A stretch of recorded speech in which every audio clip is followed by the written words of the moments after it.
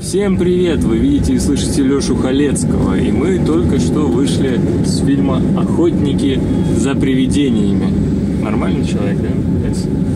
А, новые «Охотники за привидениями», там где женщины, а не мужчины. Ну, в общем, давайте о впечатлениях. Начну с того, что а, очень много негативных отзывов об этом фильме. На минуточку трейлер, который вышел к этому фильму, набрал рекордное количество дизлайков вообще за всю историю Ютьюба сразу же.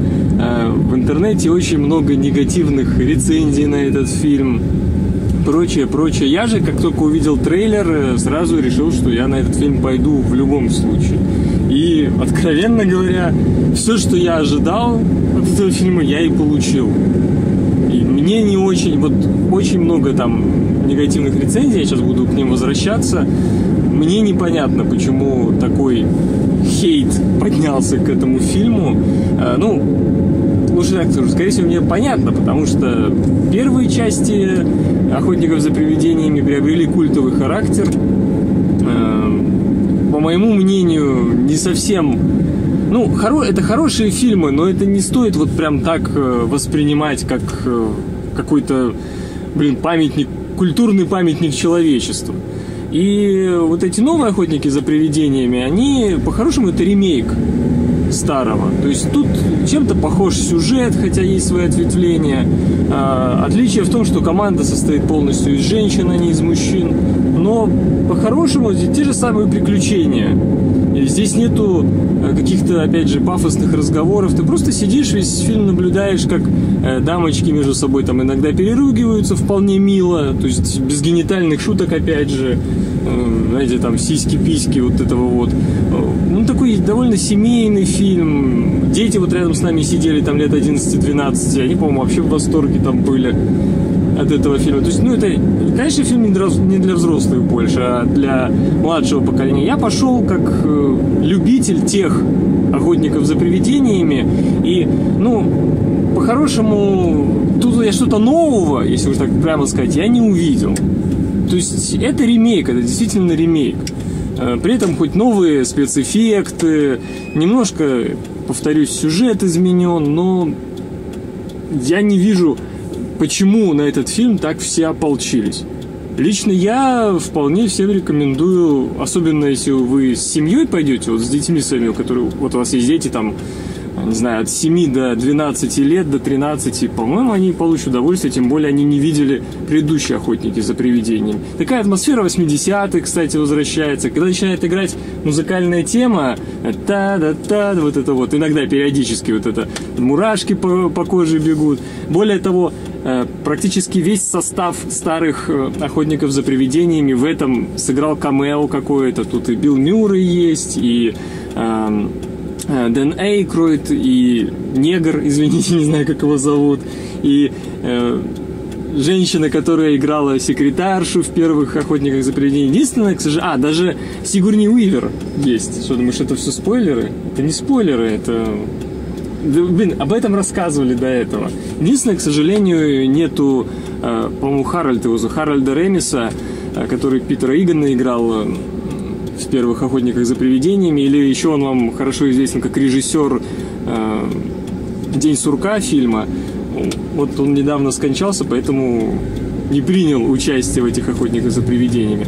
Э, я не пытаюсь как бы восхвалять вот этих новых охотников. Вы поймите, это, ну, этот фильм пройдет, он не оставит, опять же, ничего в культурном наследии. Но если сравнивать, там вот «Мстители» выходили, да, недавно, вот, вот примерно с какими-то блокбастерами, которые намного больше денег, в которые намного больше денег вложено, эти «Охотники за привидениями» вполне такой душевный, нормальный фильм.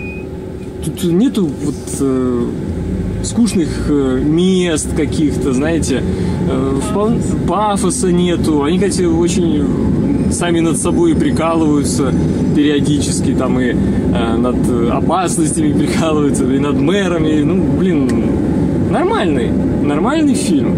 И вот этот хейт от оголтелых поклонников предыдущих охотников за привидениями, вообще вот эти всякие культовые штуки, я вообще вот пытаюсь страницы всяких фанатов чего-либо, э, потому что начинается всякая такая фигня. Они, ну, люди не могут э, объективно воспринимать реальность. Они фанатеют почему-то, и все, и шаг, шаг влево, шаг вправо действительно считается прям преступлением, даже не побегом, а вообще предательством и прочим-прочим. Вполне нормально, что тут э, Мидер, э, если я до этого думал, а нафига они женщин поставили, а не мужчин, потому что это ремейк. Это не продолжение, это не продолжение, понимаете, там не, не сыновья предыдущих героев э, стали охотниками. Нет, это именно ремейк. Так давайте, чтобы как-то разнообразить, поставим женщин. Тем более, что тут есть такие несколько феминистических таких шуточек. За счет этого можно было вставить. Э, ну, соответственно, тоже я не думаю, что это будет спойлером. Секретаршу у них играет мужик. Тоже, ну, такой забавный. Ну, блин, то есть немножко такие вот перевертыши э, в этом плане появляются. Поэтому вполне нормальный фильм, вполне нормальная комедия, вполне нормальный летний блокбастер, вот, на который просто э, ты ходишь, там, побыл полтора часа, посмотрел, вполне неплохо. И вот, и, исходя из того, что вот сейчас у нас идет в кинотеатрах лично у меня в городе, вполне естественный выбор охотники за привидениями. Вот эту жару нормально посмотреть. Так что не слушайте фана... Вот даже для примера, почему э, седьмые Звездные войны, которые по-хорошему по сюжету полностью повторяют четвертый эпизод, да, они были восприняты нормально, а зато э, охотники за привидениями, которые, которые конкретно о них говорится, что они это ремейк, мы специально переделываем его, и который на самом деле выглядит более оригинальным, чем вот этот седьмой эпизод Звездных войн. Почему э, к этому фильму такой хейт? Потому что, блин, э, фанатам Звездных войн что не пихай, они все сожрут. Главное, чтобы побольше Звездных войн было. А вот «Охотники за привидениями», два фильма культовых, которые, положа руку на сердце, они не такие уж и классные, если уж так прямо говорить. Они тоже были развлекательные, но если вы сейчас на них посмотрите, это устаревшее и скучное кино на данный момент. А это просто хоть осовремененная версия. Так что идите спокойно на «Охотников за привидениями». Нормальный фильм, вполне можно смотреть. Ну а вы видели и слышали Лешу Халецкого. Канал Леша играет. Не забудьте подписаться, поставить лайк, поделиться этим видео и смотреть интересное кино.